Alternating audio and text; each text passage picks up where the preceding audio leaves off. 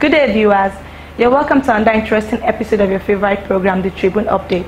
I am Funmilayo Daramola, and with me are Deborah Mustafa. Peter G. Today, we'll be discussing measures to eradicate criminal activities using as a case study Obin Invictus. To start with his profile, Obinwanne um, Okeke, popularly called Invictus Obi, is a Nigerian entrepreneur who hails from Anambra State. He is the founder of Invictus Group, an investment dealing in construction, agriculture, oil and gas, telecoms, and real estate. He was born on November 9, 1987. This guy came into limelight after an international magazine, Forbes, featured him on one of the 30 entrepreneurs CEO under 30 in 2016. Since then, he has been striving and making it. He studied international relations and counter-terrorism from Monash University, Australia. He is the 17th child of his family, ob- obviously, is from a polygamous family. Recently, he has been arrested by FBI because of a massive fraud of $11 million traced from his account. So, girls, what do you think about this issue? Ah, to talk about this personality like OP invest, investors, like Yeah. he has disappointed so many people. He's a prominent guy, like not just prominent, he's wealthy alongside. So many many people have been looking up to him as role model, as mentor. But now that he has been discovered that he's a you know Yahoo guy, because that's what people are arguing with. Like the source of income is not clean. For the fact that he has using it for you know into agriculture, oil and gas, construction, real estate, and all that, he has he's kind of disappointing. He has, his reputation is really at stake presently. It shouldn't be, but it actually happened. So let's see how it will end. Faith. He has disappointed a lot of people, as she said. He has actually polluted the term role model for a lot of people. Because I don't know why somebody um, that people look up to should emulate that type of, should have that type of behavior. Like, it is very disappointing. I don't know what um, the people who actually look up to him will be thinking at this moment. I don't even understand. But understand. he actually teach us some lessons. Like for instance, being having a role model does not say we should actually be exactly who this person This is. person we is, should only yeah. aspire to be great one day. But but by personal development, you can actually look into the person's profile and all that. And, and I also feel that we should actually not judge a book by the cover. People that were, um, are looking up to him, they actually judged him from what they about him on the surface. Okay, so someone on Twitter said he's a young man that has dreams and plans, but no thoughts take him to his dreamland. So he stole some funds to purchase the fuel and rode off to his dreamland. But he was busted because he purchased fuel for his family members and generations Also, too. that's sarcastic, sarcastic and also a savage response, re- uh, comment about. This person is looking for an excuse for him, like, Yeah. justify what he What he did. That is actually Mhm. right. But what it is actually very wrong. Wrong. Like you know, It is like- wrong. It is actually spoiling our people to society. Okay, different people to, for you to be called a prominent person. Like, Person. it's not done. It's not and then using um, uh, his company Ovic- Invictus group of companies Mhm. to as a cover up i think that's actually very wrong and looking at the fact that this guy has been featured on forbes he was once on bbc and he was on tedx yava talk From my own angle, I would say these people did not actually investigate this guy before featuring him. Before they will, you know, he will feature in in their magazine Magazine. and you know live coverage and stuff like that. I think they should they should have investigated more on his profile, especially his background before they could. There's no way they could have um, found out what he was actually doing. Yes. You know, he has a company that is like covering up for that is criminal activities now. He has a company, so there's no way they could have just um, they could have known that this guy is actually doing that particular thing at that time. and these organizations they're actually promoting entrepreneurs they are not security agencies Yes. so i don't think there's a way they could have known that okay this is who he is they know him that okay he has a company he's into so Oil many and things gas, oil and gas, construction.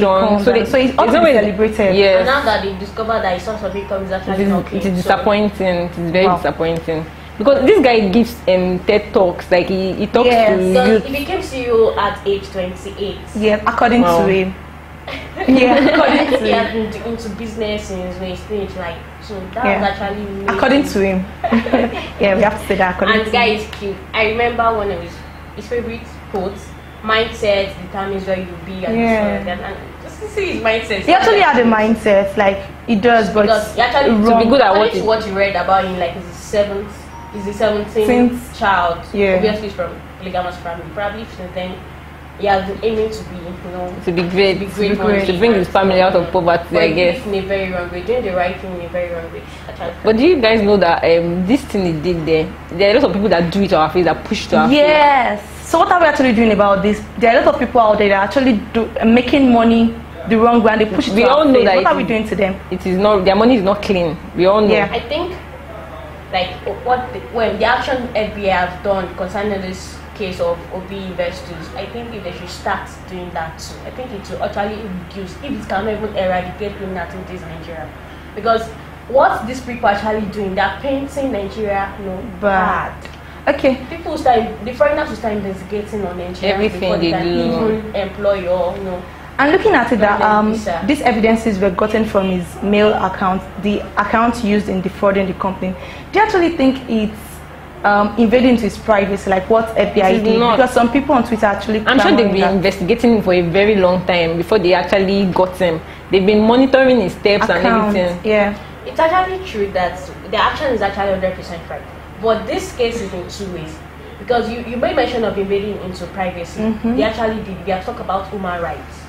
Like, we have a human rights, not invade, in, intrude into I don't think privacy. there's privacy in crime. Yes. I don't think I there's don't- We privacy have in crime. about human rights, but what did is actually 100%. If if he didn't do anything wrong, Wrong. eh, they won't come and, And look if for a him. but company- wait, on a norm, why we just suspect that I'm, I'm doing something wrong? they No, found out. no. I think a company reported, him. Reported, That's yeah, why they, reported found out that um, he was doing 11 something like that. The 11 million dollar fraud. okay. If they had not reported, they won't have investigated. Talk less of now having to go through his account. And his account, they didn't just go, they didn't hack into his account.